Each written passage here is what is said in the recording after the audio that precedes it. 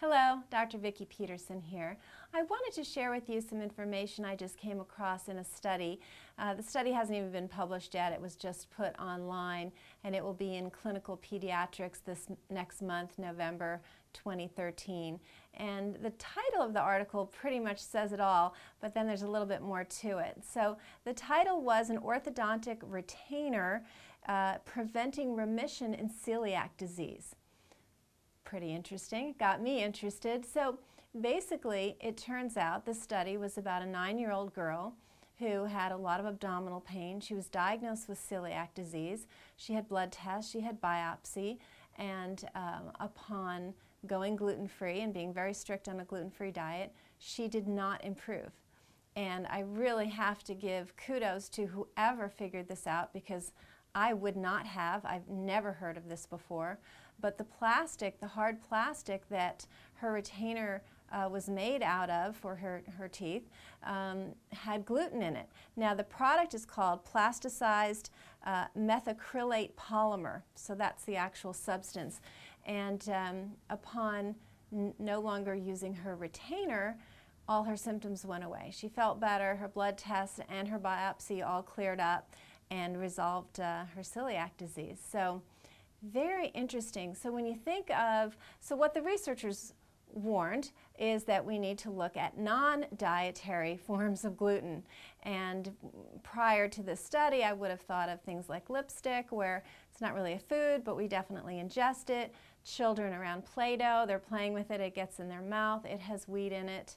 Um, you know, things like shampoos or body lotions where uh, the skin kind of eats the gluten because it's ingested. We've certainly seen that in a lot of our patients who can't tolerate you know, wheat germ in, in shampoos or body lotions, things like that. So that would have been sort of the extent of, of what I would have worried about in the past.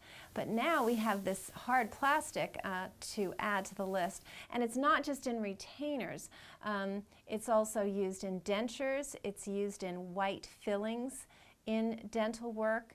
It's also used in the eye. It's used uh, uh, in cataract surgery when you're getting a new lens for the eye uh, due to cataracts. It's used in some hard contact lenses. Uh, what else is it used in? Oh, it's used in uh, dermatology as far as cosmetic fillers uh, that are injected in the skin to get rid of wrinkles and things like that. And um, last but not least, it's used in orthopedics as a bone cement. Now, I, I did some research, and, and this is what I found. I'm sharing with you what I found as far as knowing how volatile this gluten is in these products. I don't know. I wasn't able to find any research on that. But uh, once again, I never would have thought that a retainer, even though it's in the mouth, uh, such a hard type of plastic, I wouldn't have necessarily um, thought that gluten would have been mobilized out of it. So certainly uh, lenses in the eye, fillers under the skin, they all could be a source. So uh, we don't know for sure. I'm sharing with you what we do know for sure, which is this uh, one young lady and uh, her retainer, but um, definitely gives us some, some room for discovery and thought and uh, investigation into the same kind of plastic that was in the retainer and, and its use in other types of areas that the human body can be exposed to. So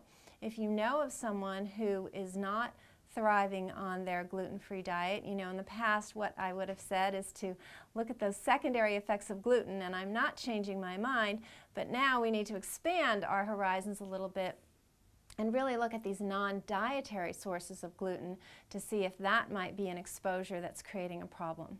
So I hope this was informative for you. It was, it was for me, and certainly I'm going to be looking at that with uh, our patients here at the clinic. So if you have any questions about this, do let me know. And until next time, I wish you very good health.